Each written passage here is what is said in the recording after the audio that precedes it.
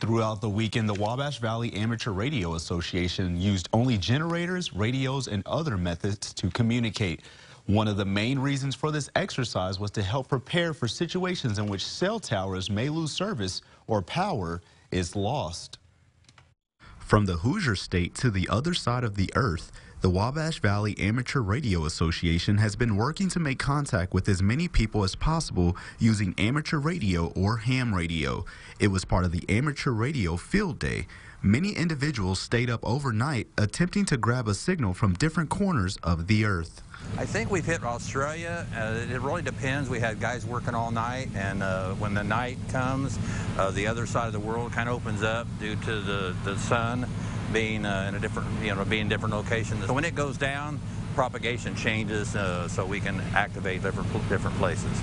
Others say this is more than a contest with others across the country, but it's a way to test our equipment for emergency situations such as hurricanes, floods, and fires. Just a couple of years ago, Puerto Rico absolutely devastated uh, with hurricanes, and the only method of communication they had were ham radio operators uh, who went down there and stayed there for months on end communicating.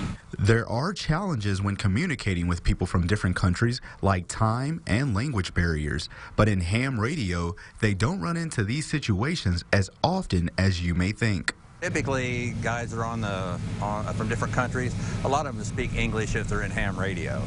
Uh, I'll get on and I'll hear guys speaking Spanish and I'll call in and then they, will be speaking English. And so it's just a matter of, uh, of uh, if they have, if they're multilingual.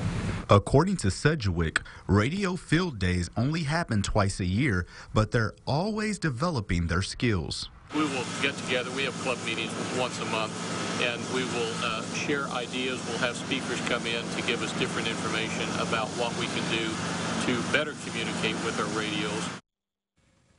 Over the past two days, the group was able to make contact with over 1,100 people from across the world.